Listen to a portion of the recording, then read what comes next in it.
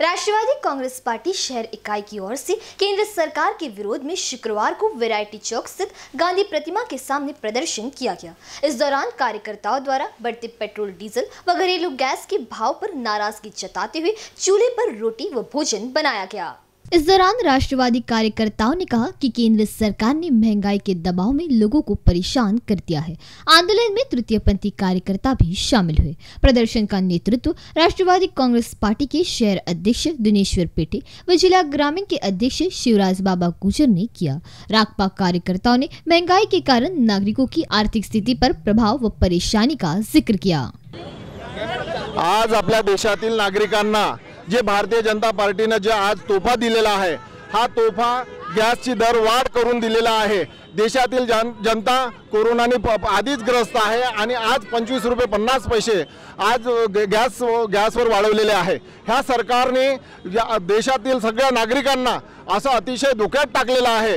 यांनी मोठे मोठे वादे केले परंतु कोणत्याही प्रकारचा वादा क- पूर्ण केला नाही. आज पूर्ण जगामध्ये क्रूड ऑइलचे भाव कमी असताना सुद्धा डॉलरचे भाव कमी असताना सुद्धा ह्या ह्या लोकांनी दोन हजार चौदाच्या पूर्वी जो देशात पेट्रोल डिझेलचे गॅसचे भाव होते आज त्याच्यापेक्षा जास्त करून टाकलेले आहेत आणि देशातील नागरिकांना इथं मारण्याचा प्रयत्न हा भारतीय जनता पार्टीचं सरकार जे करत आहे.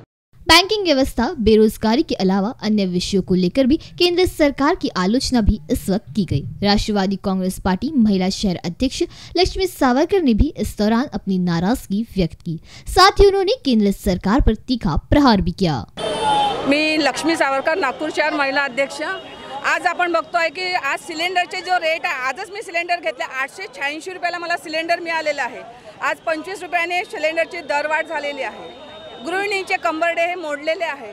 आज पेट्रोल डिझेल सगळ्याची दरवाढ झालेली आहे. आणि पेट्रोल डिझेल दरवाढ झाल्यामुळे सगळ्या वस्तूंच्या किमती वाढलेल्या आहे आज आपण बघतो आहे करोनामध्ये सगळ्यांचे व्यवसाय गेलेले आहे बेरोजगारी वाढलेली आहे. करोनाने आपण वाचलेलो आहे पण महागाईने आपण मरतो आहे.